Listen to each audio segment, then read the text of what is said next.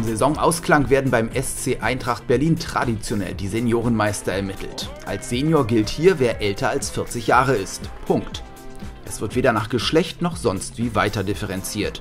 Schließlich steht hier der Spaß am Sport und die Geselligkeit im Vordergrund. Außerdem zählen beim Tischtennis viele Qualitäten. Jugend allein macht da noch lange keinen Meister. Also wir sind nicht mehr die Jüngsten und äh, beim Tischtennis macht es nichts aus, ob man 75 ist oder 40. Da spielt eine große Rolle die Reaktionsfähigkeit, die Erfahrungen, die man gesammelt hat in den Jahren und die Reaktionsschnelligkeit. Und das stellen Gerd Huschke und sein Doppelpartner Klaus Pröstorf dann auch gleich unter Beweis. Zusammen bringen es die beiden auf stolze 131 Jahre. Ihre 41 und 42 Jahre alten Gegner haben trotzdem das Nachsehen. Vielleicht mangelt es hier ja noch an Erfahrung. Ja, man muss äh, trotzdem flink auf dem Bein sein. Man muss also ein gutes Reaktionsvermögen haben, Schnelligkeit, äh, mit den Schlägen spielen können, mit den Bällen. Und ja, das ist eigentlich schon alles. Man muss es aber natürlich über Jahre hinweg gespielt haben, damit man einigermaßen äh, mitspielen kann in den höheren Klassen. Ja.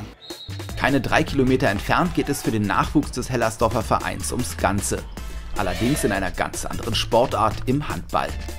Beim Qualifikationsturnier entscheidet sich für die 10- bis 12-Jährigen, in welcher Liga sie in der kommenden Saison spielen werden. Großes Ausrufezeichen, wo wir hinwollen nächste Saison. Wir wollen wieder Verbandsliga spielen.